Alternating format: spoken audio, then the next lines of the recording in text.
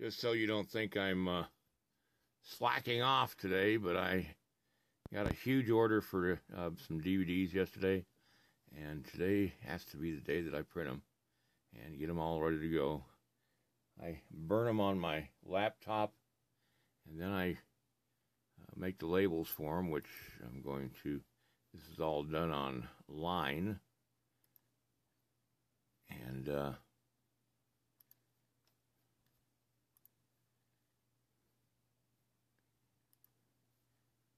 through Avery uh, labels.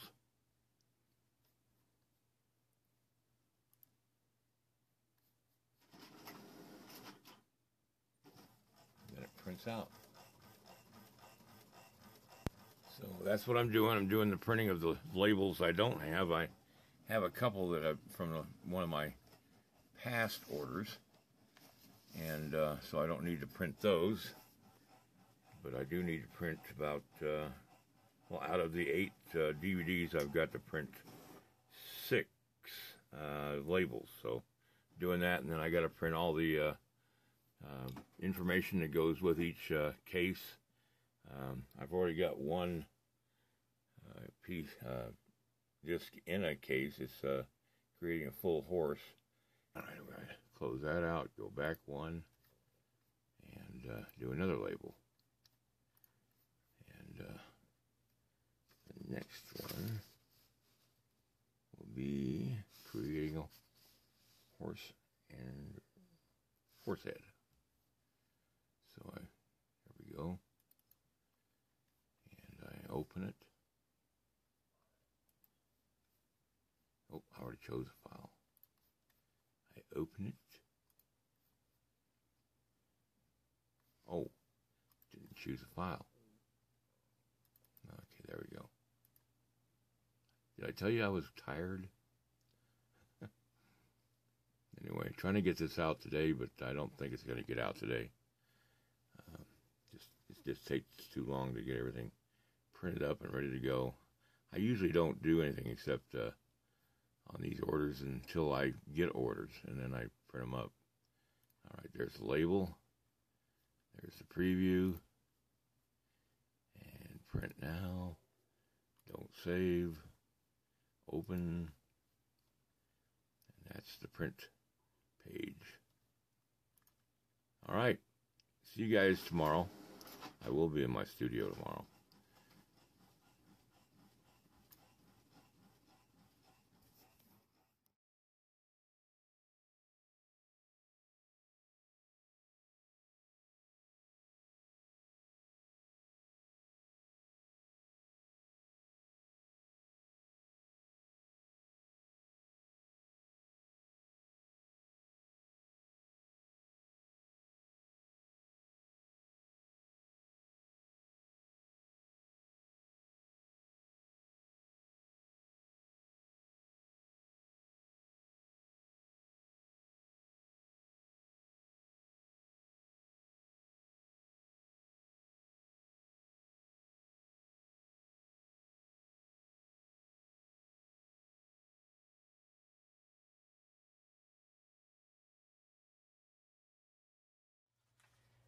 Went to the studio uh, yesterday uh, to get a couple of things, and I came across in a box the remains of a sculpture I did a, a few years back. Uh, it was of a mountain man on horseback, and he had just traded or a, a beaver pelts for a brand new Hawkins rifle, which he had across the saddle.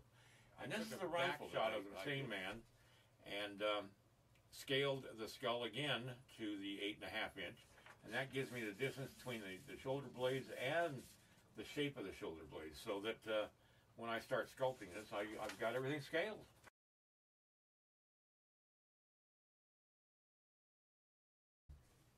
What I'm going to do is I'm going to show you, you know, how to plot out the arms for the uh, armature. I'm just uh, drawing a black line to the wrists this way I'm not wasting a lot of my uh, armature material. Uh, just to where the uh, middle of the thing is and then go up. I'm still following the same the width of the they have a uh, full armature uh, for the uh, man. I'm at, you know developing the thickness of the thorax, and I'm going more by eye than getting anal and taking every measurement. Uh, everybody's different. Alright, what I'm doing now is I'm flattening out a piece of clay to make some skin. The clay won't stick to this tool, so I can just go over this and, and blend it in. The, the key is to make the, the, uh, the skin thin. One of the tools I use is a uh, pasta machine. It's just a simple kitchen everyday kitchen pasta machine. All right, I've put, put the uh, clay on the shirt, or on the uh, bottom part of the uh, strap that holds the shot pouch. And now working from the bottom up, I uh, start moving these little pieces of clay into position. Your time is valuable if you spend a lot of time messing around with little fine details that will never show up It's just a waste of your time. I'm going to uh, take this uh, strap off that I put on and worked so hard on and put it from this side going down here because uh, this blanket will cover the pouch and I don't want to cover the pouch. All right.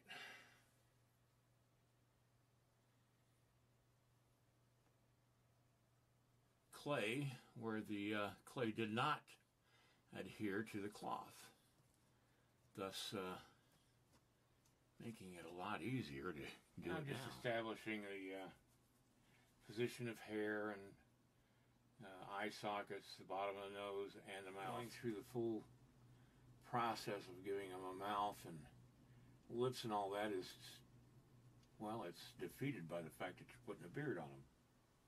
It's very delicate work because his eyes are looking in a certain direction I want to give him a little personality. I'm going to raise his eyebrow just a little bit. Sort of like he's looking up. So as you can see, I've done his face and I've attached it in here right back onto his head. You'll have fun sculpting. Just play with your clay. Uh, do whatever you want to do. Western, modern, contemporary, nudes, non-nudes, uh, mystical creatures, uh, Conan the Barbarian type characters. Whatever you do, just have fun. That's the key to being a sculptor, is enjoying what you do. Learn uh, how to throw pots in, in a ceramics class in my 12th year of high school, and uh, I couldn't throw pots to save my neck. My, I was all fingers. And um, so down through the years, I've taught myself how to sculpt. I'm going to try to pass on to you uh, in these videos that I'm going to be producing uh, a little bit about uh, how uh, I do my uh, work and uh, create things like this face here that I made oh years ago. It was it's all that's left of a life size or larger than life size uh, clay I did of a cowboy. All right, uh, from armature to clay on this uh, first DVD that I produced. Uh, it's uh, a DVD that I produced uh, showing how to sculpt a male bust in clay.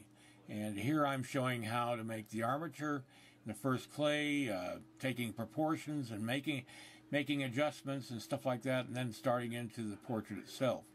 Uh, what I'm trying to do on this video that I'm sharing with you today are my five videos that I currently have out.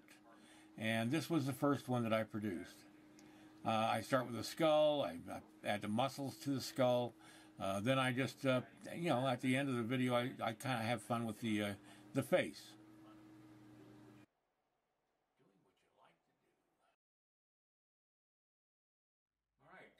Going to be a new video on uh, using a true form armature, the uh, life-size bust, And uh, tell you how big this is. From uh, the base to the top of the head is uh, just about 25 and a half inches tall. In this video here, I take a TruForm armature uh, from truformarmatures.com uh, and I start adding clay to it to show you how you can utilize this wonderful tool, this uh, this uh, armature that's uh, foam and, and resin and stuff like that. To, to make a portrait I'm making of uh, a guy by the name of Henry Roman Nose, who was a Southern Cheyenne uh, warrior and chief.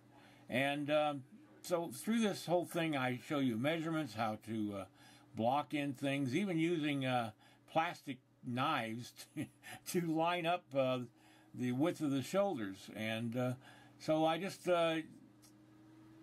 enjoyed the heck out of creating this piece. And after I was done with this video, I actually uh, uh, expanded on the piece a little bit, took away a little bit, added a little bit, and changed it a little bit. But basically, it is a portrait of uh, Chief Roman Nose. And uh, I show how to lay out the muscles, I show how to make uh, the hair, how to fill in uh, behind the hair so you don't use all that much clay doing it. And all that's in the video itself and uh, I'm not going to show you here. You have to buy the video if you want to see that part.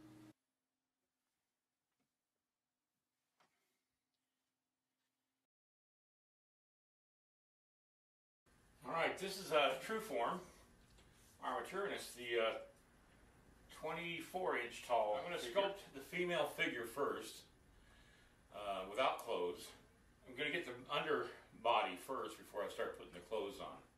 This uh, video covers about uh, six months of sculpting on this piece from start to finish to the uh, bronze.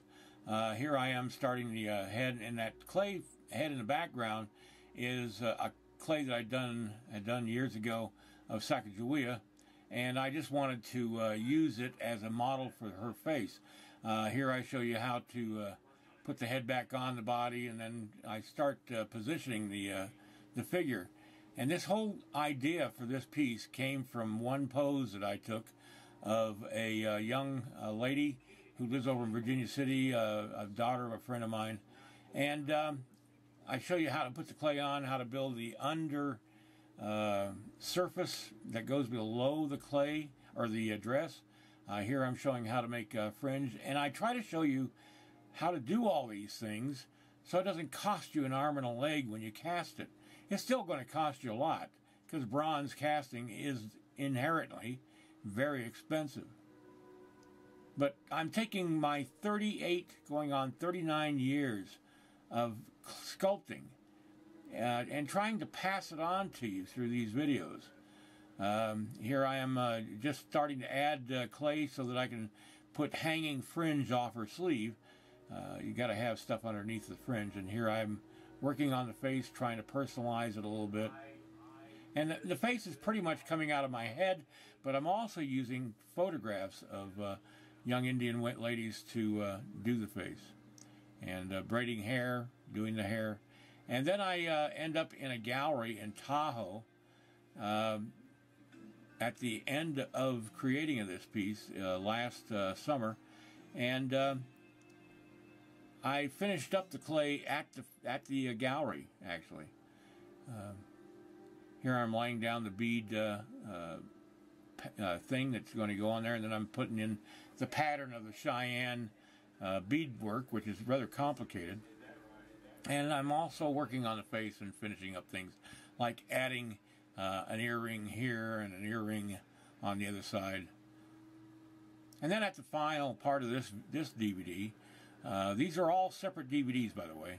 Uh, I show you the original bronze. Uh, this is the actual color of bronze once it's cast and sandblasted. It's actually a white metal that uh, you can polish up, make look like brass.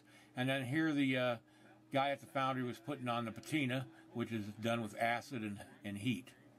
And this is the final bronze.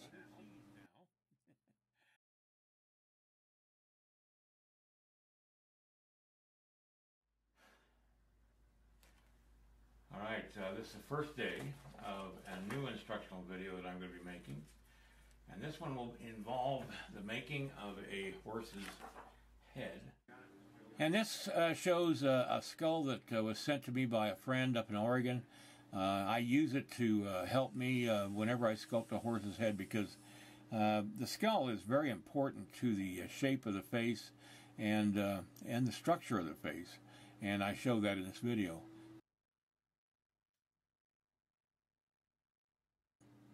Here I am adding clay to the the horse and you know, the armature that I made, and I show you how to make the armature and and all that. I even tell you how much clay uh, I put.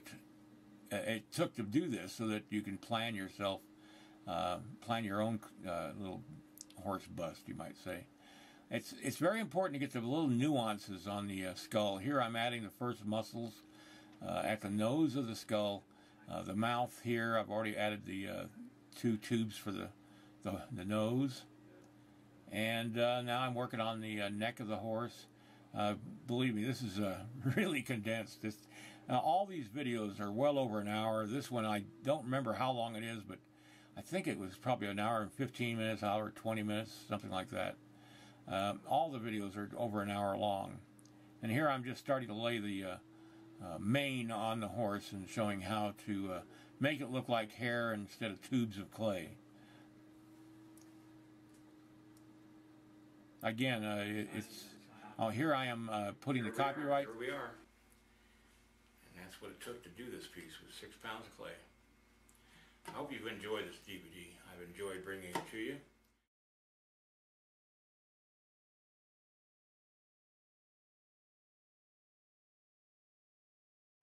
Uh, you got the feet and stuff like that. Everything comes apart. Uh, well,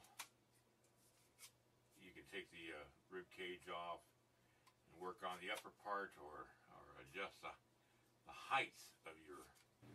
All right, this is my uh, fifth and last DVD. Um, not necessarily in the order it was made, but uh, again, I'm I'm creating here a uh, baby uh, being held by a mother, uh, Sacagawea.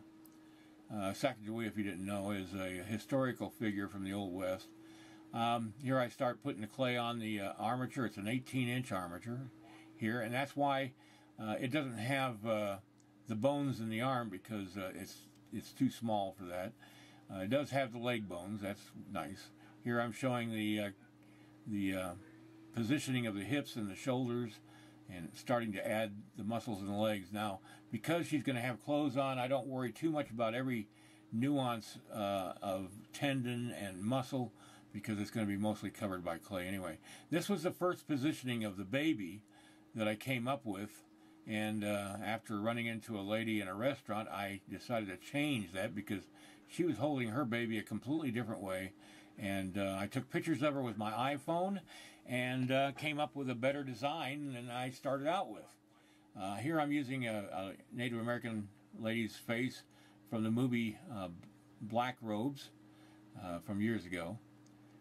Here's the new positioning of the baby, and I'm just adjusting things and trying to make it look uh, motherly and loving, and uh, by bringing the two heads of the, of the uh, baby and the mother together. And this is the idea for the blanket that I'm going to have around her. It, it was taken by photograph of a lady at a Mountain Man rendezvous, and here I'm working on the baby's face, which is not easy. I hate doing baby's faces. They're very hard, very unadult. but anyway, I just wanted to show you uh, all five of these DVDs in one video so that uh, uh, you aren't going here and there to find a video of uh, my DVDs. These are the current ones I have available as of December, I mean January 10th, 2014. Um, next week, I will be starting a uh, hopefully starting a horse uh, DVD where I'm doing the full body of the, the, the horse. So at the end of this uh, video, I kind of like uh, the way this one turned out, and I kind of hope you enjoyed watching these. So if you're interested in buying one of these DVDs or all five of them, uh, just follow the instructions below this video in the video description. Thank you for watching.